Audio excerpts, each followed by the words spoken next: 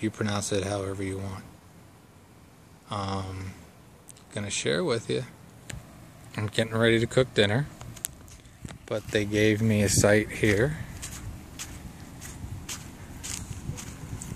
with 30 amp service. I'm also running 110 so I can cook.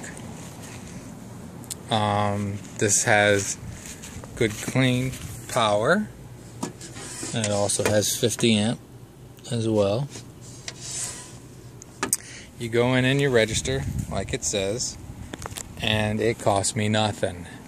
Plus they gave me two coupons for drinks because one of them was for the RV and one of them because it was gentleman's night, which, okay.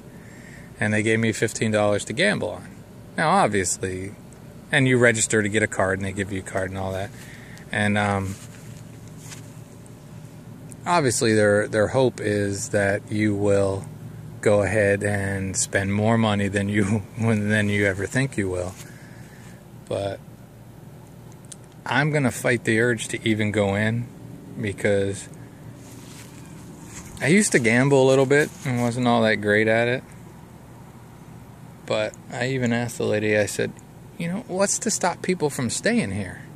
And she says, oh, we've had people stay here a month. And also said they never try to kick them out. Now they have, this is, um, I'm going to add the GPS coordinates for it right here. There you go and this is uh, Marquette, Michigan, in the UP. And they have seven slots, and right now I think there's four of the seven are filled, and one person came in after me. And they also one of the poles down there has has uh, 110 to it. Pretty darn good deal. I was a little disappointed that I couldn't get a campsite at Pictured Rocks, but I think this will work. This this free stuff will work. And depending on my plans, because I want to go further north, um, I could even stop here on the way back. You can never be guaranteed they'll have a slot, but I'm pretty happy about free. So, freecampsites.net, and they are not lying. I think this is one of the better deals you're going to find. You know, and when you're disappointed, things work out. I'm telling you. Nothing ever goes perfect, but they work out. And for me, I didn't get to see pictured rocks. I might see it on the way back, but the UP has already told me it's worth another trip and one where I have more time. But I think this worked out pretty darn well. So no need to get all wound up or anything. And I got here, I think it was about 20 after 7 at night. And again, there was only two spots taken when I got here. So pretty cool. Alright, have a great and wonderful day. Freecampsites.net. Plus that's good to see. They got security guard on duty.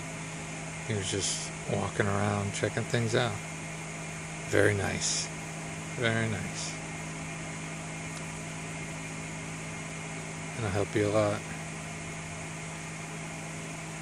Casino free. This is gonna work. So again, pretty good setup. Seven sites, four of them taken.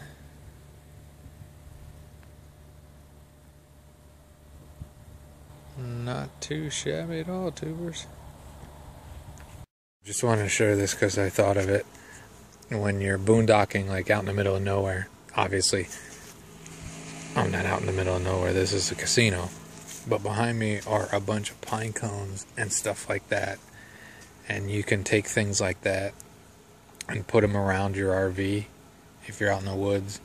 Almost act like an alarm so you can hear if somebody's coming. So if somebody was to try to sneak up on the back end of this, I would most likely hear them crunching over the pine cones. Just something to think of. You can lay sticks and stuff like that around twigs just to alert you if somebody comes near.